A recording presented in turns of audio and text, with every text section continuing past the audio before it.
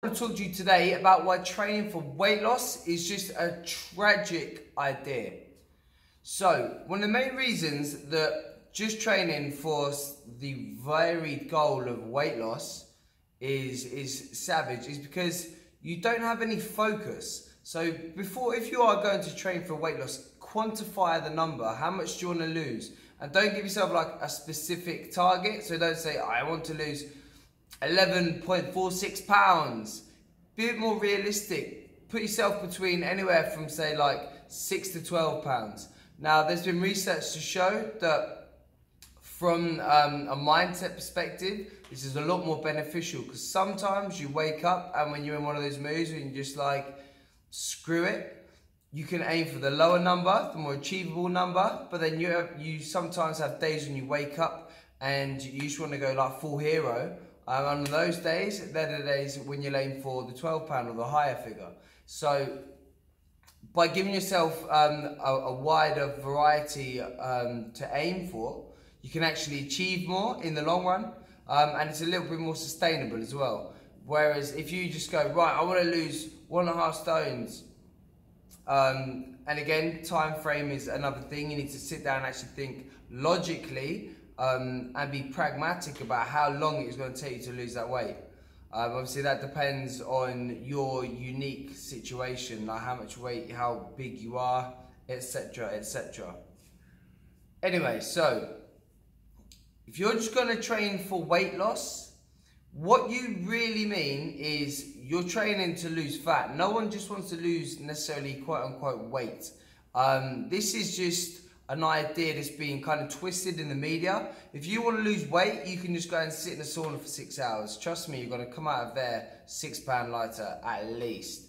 Um, again, but just losing quote unquote weight isn't necessarily healthy. You look at combat sport athletes, um, boxers, MMA fighters. When we step on um, on those scales, we want to get down to that, that weight. You want to be at that weight for the minimum amount of time possible. So that's when you look at things like dehydration, um, and you get people like sitting in saunas, obviously water loading, um, Epsom salt baths, like boiling themselves in baths, things like that. So realistically, you're not just looking for weight loss, just the general public, you're looking for fat loss. You want to burn fat. When you when you can lose weight and not look any better. Whereas when you lose fat, that's when your abs start coming out, you get all the little lines on your body, your, your physique's improving. So remember, when you're actually talking about weight loss, most of the time you're, you're looking at fat loss because fat loss is healthier, not just weight. You can just cut your leg off if you really want to lose, say like 10 kilo. So now ways to lose weight. So don't just hammer shitloads of cardio. Um, this is one thing you see quite a lot is people get up, go to the gym before work, and they'll just sit on a cross train for 45 minutes, um, and then they wonder why they're not really losing weight in the long run. And that's because what you're doing when you're just doing lots of, say, fasted cardio, because that's quite trendy now as well, um, is what you're doing is catabolizing muscles. You're actually burning a lot of muscle because um, your body will utilize aminos, which is like the proteins, to for energy. Um, just like it will fat, just like it will carbohydrates. But realistically, your body will also um, cannibalize cannibalize your what you your muscle mass, and that's what you don't want. If you want to lose weight and you want to lose fat, what you need to do is build muscle. Muscle is organic tissue. So what this means is it requires energy to stay alive. And therefore, the more muscle mass that you have, the more your um, basal metabolic rate or your metabolism um, increases. So if you have more muscle, you're going to have a higher metabolism. Because like I say, your muscles require energy, so they're constantly burning through calories just to stay alive.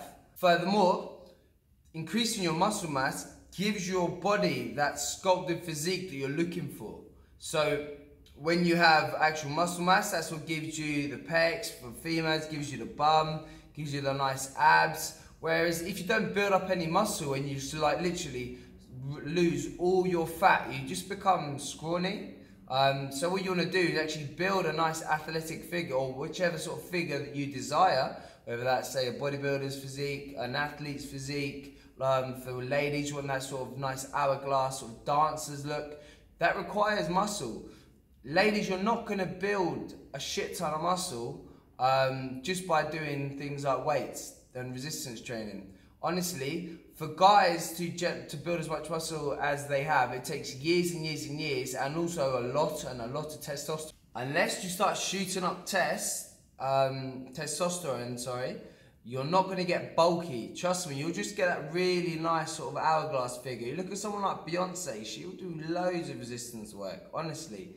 Um, she's got an amazing physique. Um, like you look at like female gymna gymnasts, they do a lot of resistance work. Again, by what you want to do is you want to sculpt your body so that when you do lose that fat on the outside, you're going to literally squeeze and just have a beautiful figure. So the ways now to build that is doing resistance training. You're going to focus on obviously your big compounds lifts, your squats, deadlifts, presses, rows, pull-ups. Um, yeah, I think that's it. I think I said, well, I haven't got it written down, so I don't know. Um, so yeah, you want to you want to make sure you're focusing on those. Obviously, you want to be in that sort of eight to twelve rep range, doing like say three to four sets. This is all dependent on yourself, but like I'd say, I just focus mainly on those. And with regards to your breakdown, your split, that depends on how many times you can go to the gym. If you're to go to the gym twice a week, then I'd just say do two full body workouts. But realistically, you should be aiming for a minimum of three times a week. Um, and that is where you're to start seeing the most bang for your buck. Um, I, I say minimum, like three times a week is, is a good a good number for general pop. Um, and then on top of that, just all the accessory lifts. If there's anything that you want to, to build up, so for guys, you want to build up your arms and stuff, then obviously working more bicep, tricep work, incorporate those. But make sure you focus on your big compound lifts because they're going to work the majority of your muscle groups um, and like I say, give you the biggest bang for your buck.